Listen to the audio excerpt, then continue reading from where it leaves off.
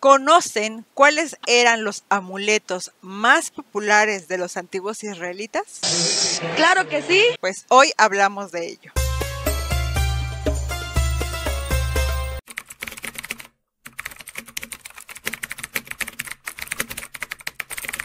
Hola, ¿qué tal amigos? Bienvenidos nuevamente a este canal La Biblia en Contexto. Mi nombre es Norma Lilia y les cuento que ya tenía muchísimas ganas de grabar un video corto de los que me gusta compartir con ustedes. Y el día de hoy vamos a hablar de un tema súper especial, como ya les dije al principio, de una especie de amuletos de los antiguos israelitas. Pero antes de iniciar con el tema, déjame decirte que si es la primera vez que estás viendo uno de estos videos y te gustan los temas del contexto histórico, social y cultural de la Biblia, te sugiero que te suscribas. Un amuleto es un objeto al cual se le atribuyen propiedades mágicas o protectoras y que se utiliza o se guarda precisamente con el objeto de atraer buena suerte, energías positivas o incluso, como vamos a ver, asegurar el futuro.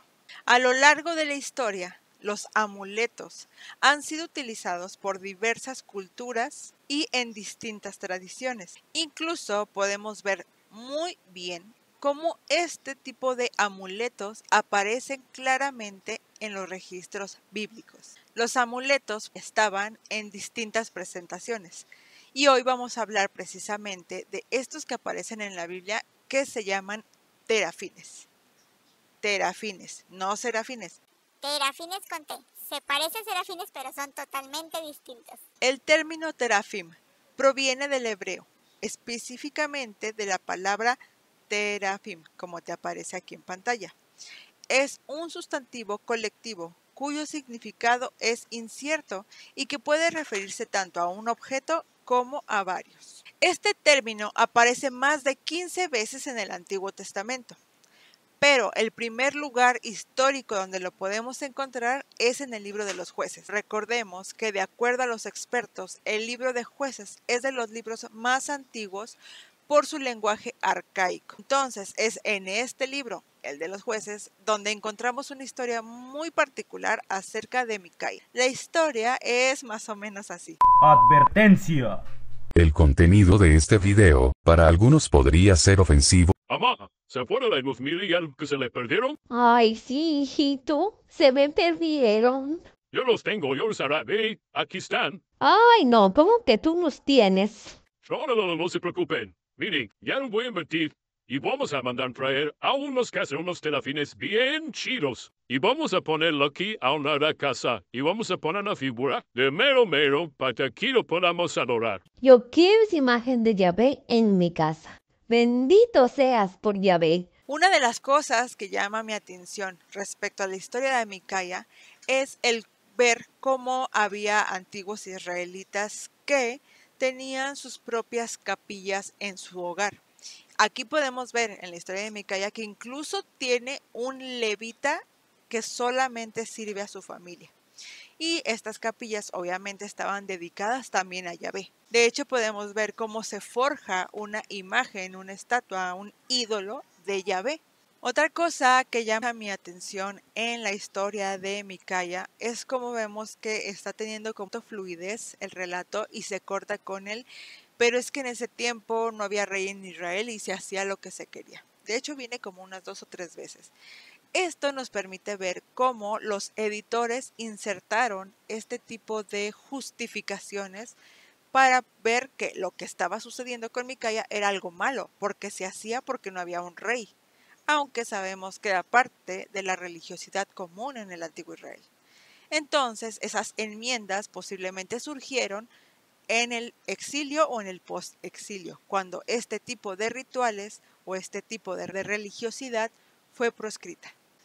Y pues aquí también aparecen nuestros amigos los terafines, que eran esta especie de dioses domésticos que la gente tenía en sus hogares, aunque aquí en la historia de Micaía lo tenían en esta capilla especial. Los especialistas han propuesto varias etimologías para terafim, pero ninguna ha sido totalmente aceptada.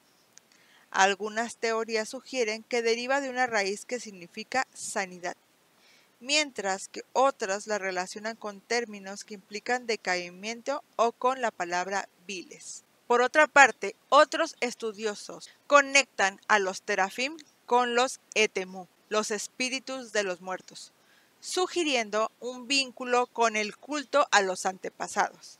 Es decir, que posiblemente estos terafines eran una especie de imagen de los antepasados que eran venerados, los cuales tenían una especie de función de adivinación sagrada y protección tal como lo encontramos también en el libro de Ezequiel en el capítulo 21, versículo 21 y Zacarías 10.2. Estas pequeñas figurillas se mantenían en los hogares y eran venerados en rituales privados. Eran comunes en muchas culturas antiguas, no nada más en el pueblo hebreo, y se creía que protegían a la familia e incluso al hogar, proporcionando bienestar y salud.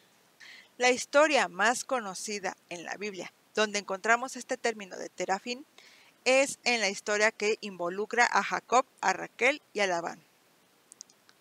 Raquel, esposa de Jacob, se llevó los terafín de su padre Labán sin que Jacob lo supiera. Labán los tenía como imágenes de los antepasados protectores que garantizaban la fecundidad y prosperidad de su hogar. Los terafín eran pequeños, lo suficiente para que los escondiera Raquel bajo su montura.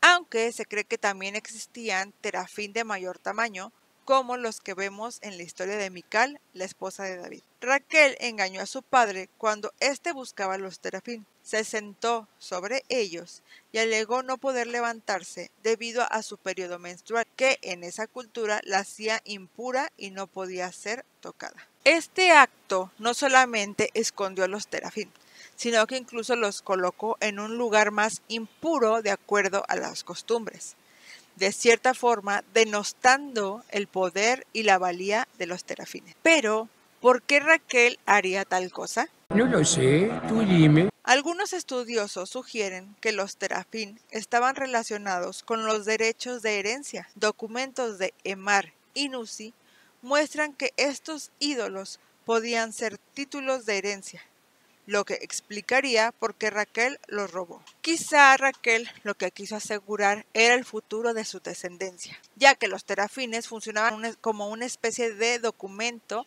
que avalaba que tú eras el heredero. Vamos, era como recibir un testamento. Esto también explicaría la furia de Labán al no poder encontrarlos porque estaba perdiendo ese testamento para sus herederos. En el libro de Samuel vemos cómo este aspecto de los terafín va cambiando. De hecho, los relaciona con la hechicería. Y también podemos ver cuando llegan las reformas religiosas, específicamente las de Josías, cómo el culto a estos terafim se va eliminando radicalmente. Sin embargo, y de acuerdo a la arqueología, podemos encontrar rastros de que a los terafines se les rendía culto aún después del exilio en Babilonia. ¿No les parece eso curioso? El conocer acerca de los terafines nos ofrece una ventana al pasado para que de este modo podamos comprender cómo era la religiosidad en el antiguo Israel y también de esa forma poder interpretar mejor los relatos bíblicos. Además